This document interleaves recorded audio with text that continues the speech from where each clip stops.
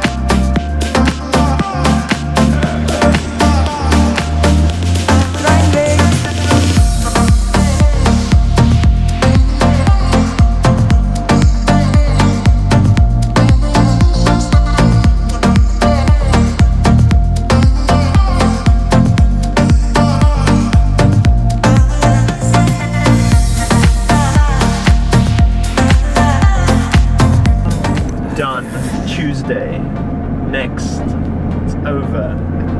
Day two. It's actually day one, but you get the gist of it.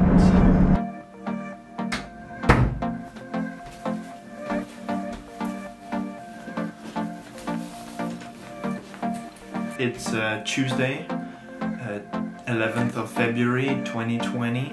Uh, it's around 5 o'clock. We just come back from shooting some cool cafe. It's called Boston Coffee. It's awesome. You should check it out if you're in Cape Town and you haven't yet. That was actually a complete lie. It's Friday the 14th of February. We did go to a coffee shop. That wasn't a lie. We did go to a coffee shop. It was a lot of fun.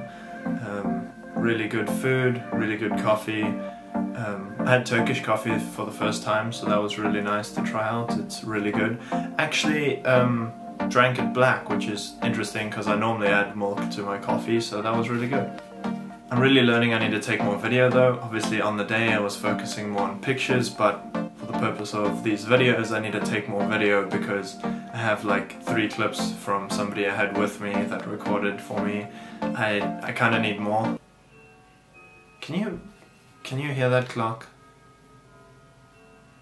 It's an old grandfather clock that we have. On Wednesday and Thursday I was just editing some photos, emailing some people, DMing some people, trying to find some more clients and just other friends of mine to collaborate with, things like that. So there wasn't really much worth filming, but that's why I'm not daily vlogging, right? That's why I'm putting this all together into a weekly thing, kind of pushing myself to create some more because I mean this is my first video of 2019 so trying to get more out there even if it's not cinematic work, just creating something, keeping myself going kind of thing. I don't even know if it's gonna be a weekly vlog that comes every week, but it's gonna be a vlog that contains a whole week.